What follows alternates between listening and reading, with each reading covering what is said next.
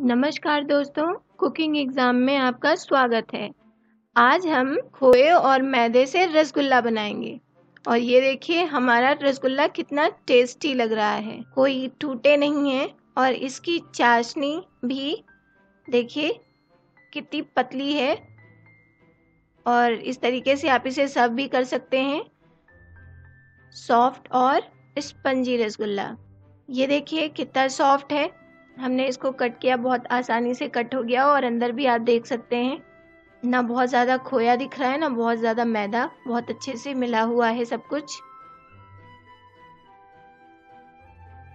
चलिए फिर बनाना शुरू करते हैं। इसको हम बनाने के लिए सबसे पहले लेंगे खोया और खोए को हम मैदे के साथ मिक्स कर लेंगे। खोए और मैदे का जो रेशियो होना चाहिए, वो वन थर्ड का होना चाहिए। जितना आप खोया लीजिए, उसका वन थर्ड आप मैदा मिक्स करिए। और एक पिंच आप डालेंगे बेकिंग सोडा। और फिर इसको लगभग आप 12 मिनट तक 10 से 12 मिनट तक इसको अच्छे से मसलिएगा। थोड़ा सा दही के पानी के साथ। बहुत थोड़ा सा दही का पानी यूज़ करिएगा, इसको इस तरीके से मिला लीजिएगा अच्छे से। और मिलाने के बाद इसको इस तरीके से सेट करिएगा जैसे आपका आटे का डो होता है। अभी ये बहुत गीला लग रहा है, लेकिन अभी ये मिलाते मिलाते आपके डो की तरह हो जाएगा, बिल्कुल आटे की डो बन जाएगी। आपको आटे में थोड़ी मेहनत करनी पड़ेगी यहाँ पे। खोए में, खोए को और मैदे को और सोडे को, एक पिंच सोडे को डाल के खूब मसलना होगा। और यदि आपका चिकनाहट नहीं आ रहा होगा तो आप पानी की हेल्प से भी इसको चिकना बनाएँगे। देखिए धीरे धीरे हमारा यहाँ पर बिल्कुल सेट होता जा रहा है। थोड़ी देर बाद ऐसा होगा कि आपके तलवे पे बिल्कुल भी मैदा ये जो डो है, नहीं लगेगा। चूल्हे में कुछ होता नहीं, बहुत सिंपल रेसिपी होती है, बहुत थोड़ा सा आपको ध्यान रखना है यहाँ पर।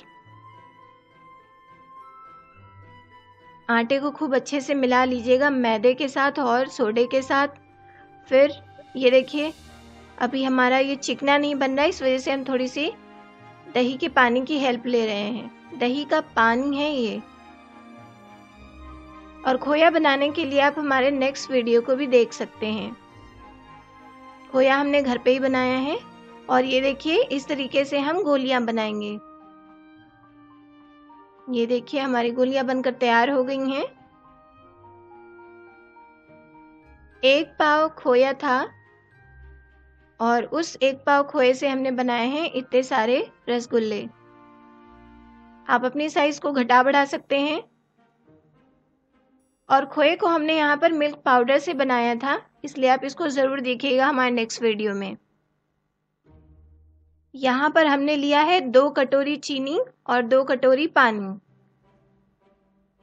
पानी और चीनी के रेशियो को सेम रखिएगा। और थोड़ा सा आप यहाँ पर इलायची पाउडर भी डाल सकते हैं।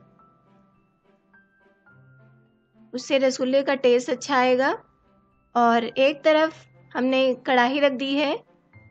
हम कढ़ाई में अपने रसगुल्ले को धीरे धीरे फ्राई करेंगे। बहुत धीरे से डालिएगा। स्टार्टिंग में थोड़ी सावधानी बरतनी पड़ती है। इस तरीके से डाल दीजिए। और हमारा जो ऑयल है, बहुत हल्का गर्म है। रसगुल्ले को फ्राई करने में ही यहाँ पर सारा ट्रिक है। यहाँ आपको ध्यान देना है कि आपका रसगुल्ला तलवे पे लगे नहीं। और अपने ऑयल की मात्रा थोड़ा सा ज़्यादा रखिएगा, जिससे रसगुल्ला डिप रहे बिल्कुल उसी में। अब हम इसको इस तरीके से शेक करेंगे तलवे पे ना लगने के लिए। क्योंकि कलछल जैसे ही आप लगाते हैं तो ये बहुत सॉफ्ट होता है, टूटने का डर बहुत ज़्यादा होता है। इस वजह से हम थोड़ा सा शेक करेंगे, लेकिन कढ़ाई के हैंडल को पकड़ के। अब हमारी जो रसगुल्ले हैं, वो थोड़ी देर पक चुके हैं। तो अब यहाँ पर आप कलछल यूज़ कर सकते हैं, उतनी ज़्यादा टेंशन नहीं होगी, लेकिन वो भी आराम से। और हमेशा हम रसगुल्ले को धीमी आँच पर ही बनाएँगे।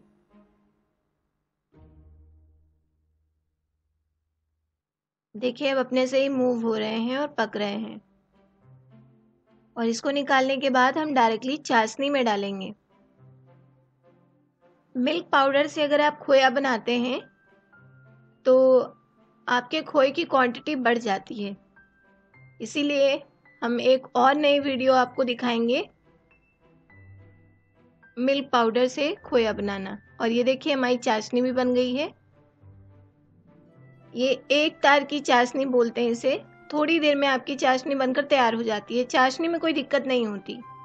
बस एक थोड़ा सा आपके हाथ को जब छोड़े तो एक बूंद की तरह छोड़े तो उसे हम बोलते हैं एक तार की चाशनी। अब हमारी चाशनी रेडी है। इसमें थोड़ा सा हमने इलायची पाउडर डाल दिया है। आप अपने टेस्ट से रखें। रसगुल्ले भी हमारे पक चुके हैं। इसको मैंने पूरे प्रोसेस को धीमी आँच पे किया है। इस वजह से थोड़ा समय लेता है यहाँ पर।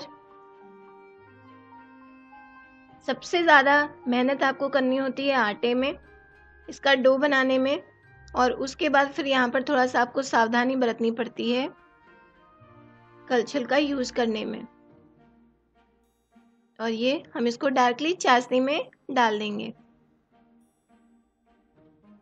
इसी तरीके से हम अपने सारे रसगुल्ले बना लेंगे और इसमें डाल देंगे और आधे घंटे तक इसको बिल्कुल छोड़ देंगे बिना डिस्टर्बेंस के, जिससे कि सारे रसगुल्ले हमारे चाशनी को अब्जॉर्ब कर लें।